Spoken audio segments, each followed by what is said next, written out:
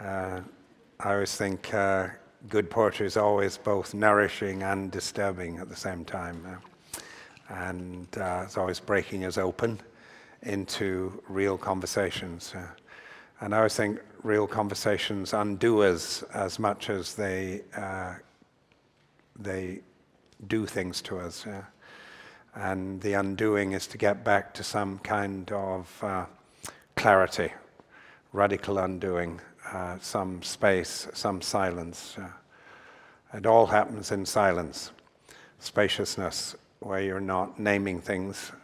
Uh, that's where you actually come across the part of you that's equal to what you're involved with. I want to uh, read this piece. Um, in this uh, cycle of Irish poems, there's a whole series around the loss of my mother. And, uh, and the uh, sudden uh, experience I had of, uh, of a lack of foundation in my life after my mother had passed away and the sudden understanding that you thought you were out in the world uh, having this Indiana Jones like experience, and all the time your mother had been there as a, as a foundation to your life. Yeah.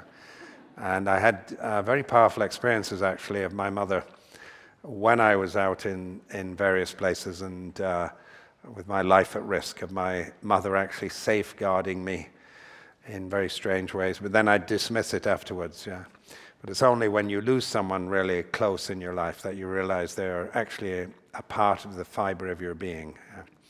And when they've gone, when their representation has gone in the physical world, you have to uh, fully welcome them into your body in a different way. And uh, so one of the one of the experiences you have when you've lost someone is that you keep just hearing their voice uh, out at the edge of uh, your consciousness. Or the phone rings and you think, oh, and then you, a microsecond later you realize uh, it can't be them. Yeah? And, uh, and then you're also curious about where they are. You're curious about why they left, for a start. I often say, Why did you just decide to go? Why didn't you stay around longer? And, uh, and then human beings have always had this ancient dynamic of, of uh, greeting their lost uh, loved one through uh, the auspices of the natural world, you know, through a rainbow, the end of the valley. Sudden feeling as if it was sent specifically for them, or a bird tapping at the window in the morning. The auguries, you know, the, the sense that we need some kind of news to understand where they are and what they're about.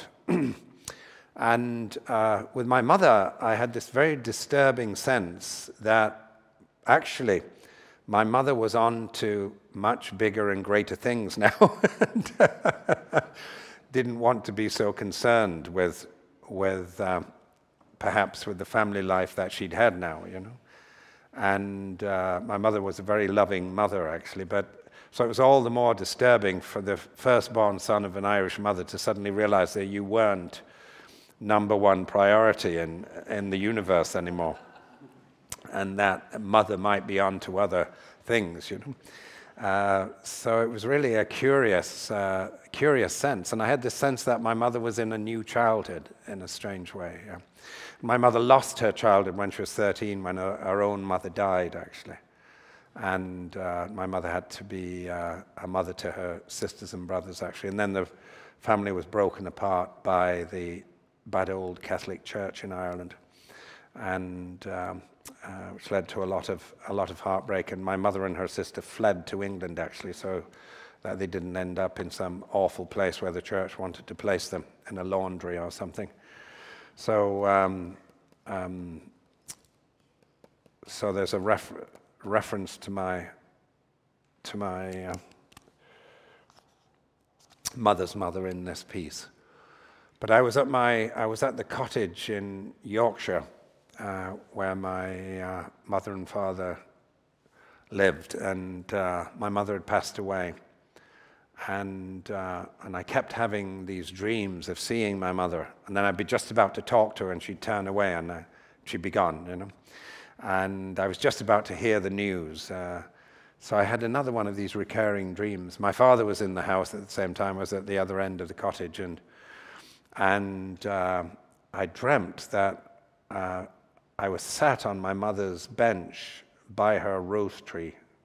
She had these Dublin Bay roses, is the name of the roses. They give red roses all summer, marvelous. I have them at the house on Whidbey Island now, actually.